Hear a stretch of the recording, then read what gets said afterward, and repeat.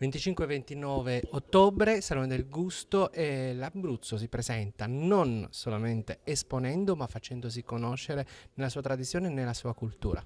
Sì, non vorremmo solo raccontare le storie di questo territorio, le tante storie dei protagonisti di questo territorio, dagli agricoltori ai pastori, alla, agli allevatori, ai pescatori, vorremmo anche offrire delle eh, sensazioni gustative, chiaramente facendo conoscere nei cinque giorni della manifestazione tra, attraverso un programma molto articolato di laboratori del gusto e di cene, di momenti tematici, eh, quello che questa regione può offrire, grazie anche all'opera straordinaria, il contributo di eh, otto ristoratori, addirittura con due scuole, che verranno a interpretare il meglio della produzione abruzzese. Il palato che gusta?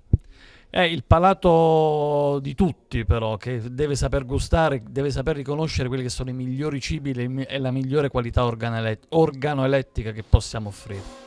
È un'assoluta novità, un'esperienza diversa quella che propone l'Abruzzo in questa edizione è migliorativa rispetto alle edizioni precedenti. Diciamo che l'esperienza chiaramente ci ha consentito in questi anni di migliorare sempre l'offerta, di completarla, di avere sempre qualche idea nuova e quindi credo che anche quest'anno ai 200.000 visitatori che ormai statisticamente visitano il Salone del Gusto potremmo offrire veramente un bello spaccato della nostra regione.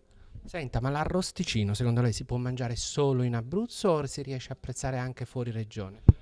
Allora, il discorso è lunghissimo, cerco di fare una sintesi. Quello uh, a cui sta guardando la regione con questo protocollo disciplinare di cui credo Mauro Febbo possa parlare meglio di me, eh, tende in questa fase a offrire il meglio all'interno della regione.